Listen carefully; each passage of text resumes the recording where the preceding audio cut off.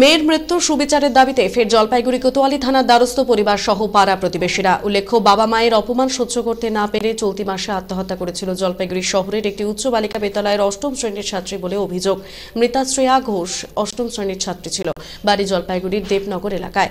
মৃত্যুর আগে ছাত্রীটি একটি সুইসাইড নোটও লিখে গিয়েছিল। ঘটনার পর সংশ্লিষ্ট ওই স্কুলের প্রধান শিক্ষিকা, সহকারী শিক্ষিকা ও এক ছাত্রীর বিরুদ্ধে লিখিত অভিযোগ জানান মৃতার পরিবার। কিন্তু এখনও অভিযুক্তরা অধারা বলে আজ কোতোয়ালি থানায় দাঁড়িয়ে অভিযোগ তোলেন পরিবার সহ এলাকার বাসিন্দারা। তাদের দাবি আত্মহত্যায় প্ররোচনা দেওয়ায় গত নয়ই ডিসেম্বর তিনজনের বিরুদ্ধে লিখিত অভিযোগ থানায় জানানো হয়েছিল। কিন্তু এখনও অভিযুক্তরা বহাল তবিয়তে রয়েছেন বলে দাবি পরিবারের। তাই দোষীদের বিরুদ্ধে যাতে দ্রুত আইনি প্রক্রিয়া শুরু করা হয় তার দাবিতেই এদিন সোচ্চার হন তারা। তবে এদিন অভিযোগপত্র তারা থানায় জমা দেননি যেহেতু ওই সময় থানার আইসি অনুপস্থিত ছিলেন বলে পরিবার সূত্রে দাবি।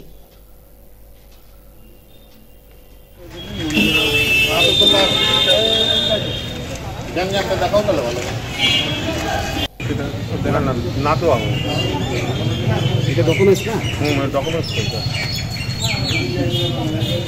ওনারা অভিযোগপত্র নিয়ে এসেছিলেন ঠিকই কিন্তু এখানে দেবদুলাল ঘোষ কি জন্য আজকে থানায়? আমার মেয়ে শ্রেয়া ঘোষ সুনীতিবালা সদর গার্লস হাই স্কুলের অষ্টম শ্রেণির ছাত্রী ছিল। গত ইংরাজি ন তারিখে নয় ডিসেম্বর নিজে আত্মহাতি হাতি হয় কারণ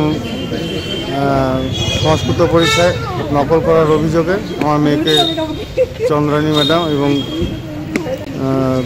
প্রধান শিক্ষিকা এমন সব কথা বলেছে যা যেটা সহ্য করতে পারেনি।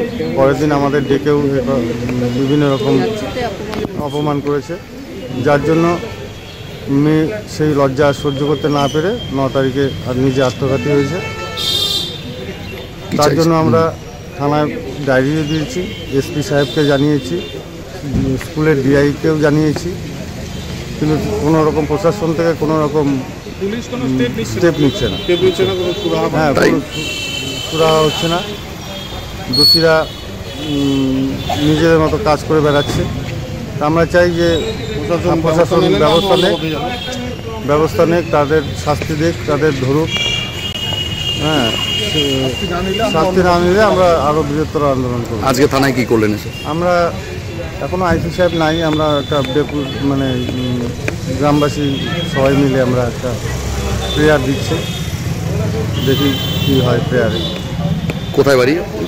দেবনগর তিয়াত্তর হয়েছে। একটা গোল করতে পারে না দম নেই। চিংড়ি খাইলে জোশ আইব কেমনে? জোশ আসিল ইলিশে। আচ্ছা আচ্ছা থাক থাক হয়েছে। দিন কাটে খেয়ে বসে বালিশে তোমারও তো বালিশে। তাও দেখি একখানে সমর্থ পাইছি বছরের অর্থ। বয়স যেভাবেই লিখ না কেন ডাক নতুন করে বাঁচার অর্থ জীবন খুঁজে পাক। আমরা গর্বিত সমস্ত প্রবীণ মানুষের জন্য যারা সফল অর্থোপেডিক চিকিৎসা ও জয়েন্ট রিপ্লেসমেন্ট সার্জারির মাধ্যমে ফিরে পেয়েছেন তাদের স্বাভাবিক জীবন। Neotia Getwell health care centre সুস্থ জীবনের অর্থ। আমরা শ্রেয়া ঘোষারে ন্যায় বিচারের জন্য আসি আর কি সুবিচার চাই। এর আগে তো আপনারা থানায় অভিযোগ দায়ের করেছিলেন। হ্যাঁ এবার অভিযোগ দায় করা হয়েছে কিন্তু কোনো অ্যাকশন নেয়নি থানা কর্তৃপক্ষ। তার জন্যই আসা হয়েছে এখানে। কি চাইছেন? এখন ওর জন্য আমরা সুবিচার চাই। তার জন্য যদি কোতোয়ালি থানার থেকে আমাদের এটাই রিকোয়েস্ট ওদের কাছে যে ওরা যেন এটা তাড়াতাড়ি ইসে করে। কোনো একটা সুরাহা বের করে। কি নাম আপনার? পাপিয়ে পার বাড়ি? বাড়ি দেবনগর।